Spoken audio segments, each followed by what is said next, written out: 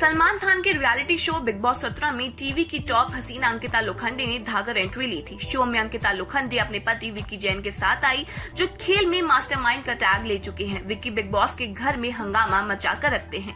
इसी तरह अब अंकिता लोखंडे भी गेम मोड में आ गई है। अंकिता लोखंडे का बिग बॉस के घर में सात हफ्तों में ही कई कंटेस्टेंट से पंगा हो चुका है, जिस वजह से अंकिता लोखंडे उन कंटेस्टेंट से बात करना भी पसंद नहीं करती है।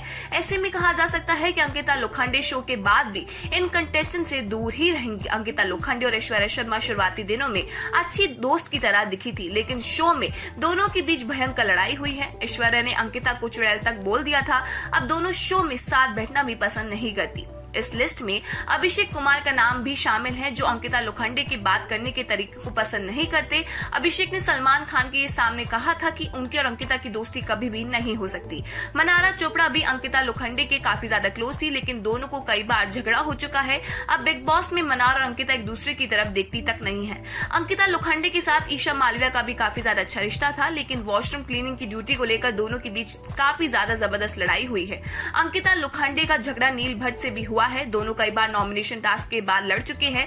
हाल ही में अंकिता ने नील को आंटी नंबर वन भी कहा था, जिसके बाद नील ने उन्हें काफ़ी कुछ सुनाया भी था। बिग बॉस सत्रह में जिग्ना वोरा, अंकिता लोखंडे का झगड़ा कभी हाई वोल्टेज लेवल पर तो नहीं हुआ, लेकिन शो से बाहर आकर जिग्ना ने अंकिता के बारे में काफ़ी कुछ कहा है। इस दौरान जिग्ना ने ये भी हिंट दिया कि अंकिता की प्रेगनेंसी का मामला सिर्फ़ फुटेज के लिए था। वहीं जब ये बातें अंकिता को पता चलेगी तो यकीनन वो जिग्ना वोरा से दूर रहेंगी। अंकिता लोखंडे और विक्की जैन का रिश्ता बिग बॉस सत्रह के घर में बिगड़ने लगा था।